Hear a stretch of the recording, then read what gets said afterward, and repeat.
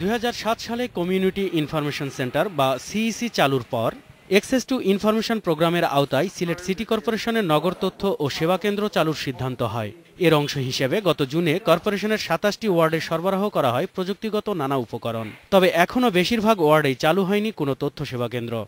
আমরা যেভাবে সেবা পাওয়ার কথা ছিল তথ্য পাওয়ার কথা ছিল সেই থেকে আমরা অনেক দূরে আছি। সার চালু হলে তো আমরা সাধারণ উপকৃতই হব। আর কি? আমরা সেবাটাই পাইব। জনপ্রতিনিধিরা বলছেন কম্পিউটার সহ উপকরণগুলো কি কাজে ব্যবহার করা হবে জানানো হয়নি তাদের।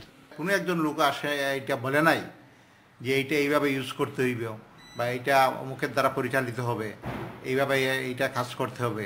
এই ধরনের কোনো ধরনের ইনফরমেশন বা কোনো তথ্য আমাদেরকে দেওয়া হয়নি।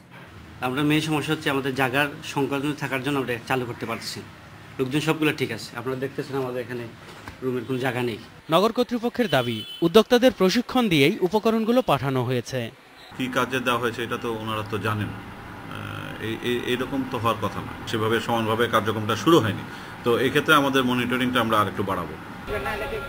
নগর কর্তৃপক্ষের সঙ্গে জনপ্রতিনিধিদের সমন্বয়হীনতাকে দায়ী করে দ্রুত এসব তথ্য সেবা কেন্দ্র চালুর দাবি জানিয়েছে নগরবাসী। Independent news